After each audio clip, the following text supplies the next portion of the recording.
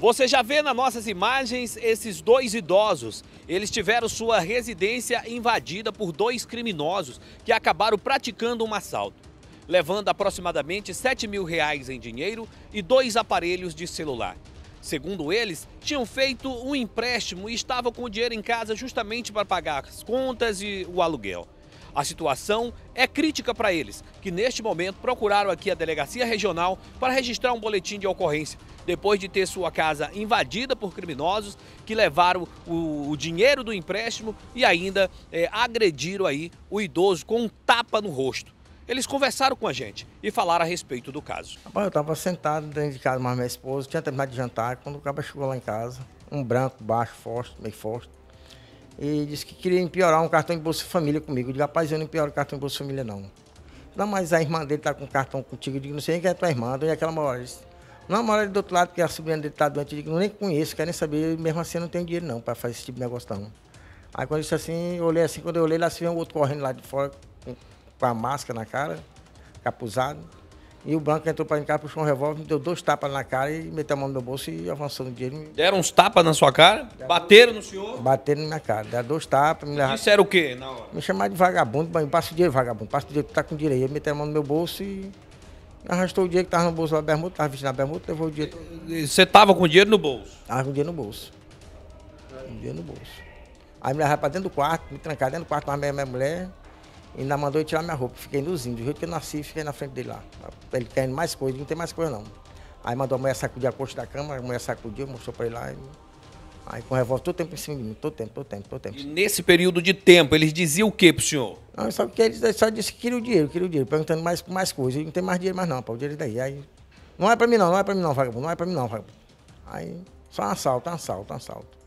Aí saiu na moto, eu saí atrás dele, até pé do quartel, mas não topei mais. Eles conseguiram levar quanto da sua casa lá? Vai de 7 mil para 7,500, 7.500, o dia que eu tinha no meu bolso, era o dia que eu tinha no meu bolso. O dia que minha mulher fez o um empréstimo no banco, para ir trabalhar, e ele pegou e levou o. Alguém estava sabendo que vocês tinham feito esse empréstimo, né? Deu uma, tipo uma casinha pro senhor, né? Parada dada, parada dada. Aí, parada foi, uma, dada. aí foi uma parada dada. Alguém que sabe lá que eu mexo com dinheiro. O senhor foi a parada perdida? Para mim foi perdido, demais, demais. Não estou entrando pro dinheiro, estou pro celular. Pro celular que deu... E aí agora, como é que o senhor está?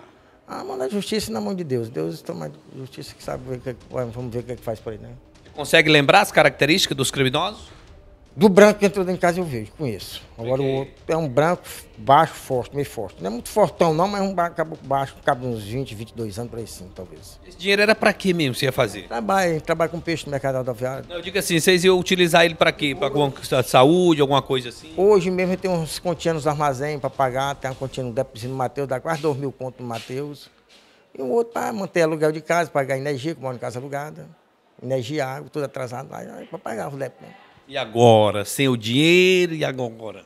Devendo um empréstimo? Devendo um empréstimo aí, Deus proverá, né? Em nome de Jesus vai dar certo para nós, com fé em Deus. Para a justiça aí, o que, que a justiça bota a mão deles. Restando boletim de ocorrência? Já esteja.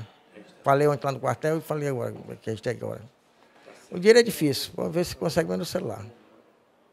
Qual o horário que eles chegaram lá na sua casa? De 8 para 8 e meia, na hora da chuva. Na hora da chuva. Na hora da chuva. Barulhinho e tal. Barulho. Deu nem pra ver que deixaram o senhor dentro, dentro de casa, trancado? Os vizinhos, tudo as portas fechadas, vizinhos. Eu estava com o meu portão aberto, encostado o portão.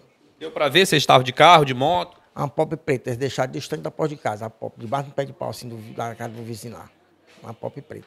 Agora aí só o prejuízo. Só o prejuízo. E a dívida? Conta para pagar aí. Agora ficou a dívida do, da, das contas, ficou a dívida da casa, do aluguel e a dívida ainda da, do empréstimo. O aluguel tá aí para pagar agora depois da manhã, o dono da casa que é o dia dele. Aí tem água, tem energia, sabe o que é. Se atrasar a energia, você mais vem corta. Quer nem saber. Opa! Quer nem saber se o cabo foi roubado ou que não foi, né? Sabe como é que é a semana? Né? A água tudo bem, dá de, dá de dromar, mas não. E agora, o que você está pensando aí? Como vai resolver os, pepino todo? Não, é, sei não, só Deus proverá, né? A mão de Deus, né? Deus... Como é o nome do senhor? Francisco das Chagas. O senhor Francisco mora no Novo Bacabal, né? No, no Tirão, Vila Feiçolano. Tá aí, pessoal. Essa é a história do seu Francisco. Nesse momento, ele já está aqui para registrar um boletim de ocorrência. Teve sua casa invadida, dois criminosos acabaram adentrando na noite de ontem, no horário da chuva, justamente para não fazer barulho e nem levantar suspeita. E acabaram levando aí toda a sua quantia em dinheiro, que ele tinha feito um empréstimo para pagar as contas, para cuidar da saúde. E aí, meu amigo, você vê a situação. É triste, Mas é a dura realidade. Eu tava, tava só nós dois. Como é que foi para a senhora isso? Rapaz, o- andou de terror pra mim, né? Andou de terror. Porque uma coisa que eu nunca tinha passado na minha vida. Já chorou? Já chorei, eu tô magoada demais por causa das minhas coisas. Que. Porque a gente, a gente trabalha a semana todinha, só a só para conseguir as coisas. A gente pro vagabundo chegava e vinha roubar para trocar pela uma cabeça de pedra. Doído. É doído. Xingava muito, ameaçava muito. Não, eles não, eles não xingaram, não. Eles não xingaram, não. Vou só bater na cara do meu marido, aí chamei meu marido de vagabundo.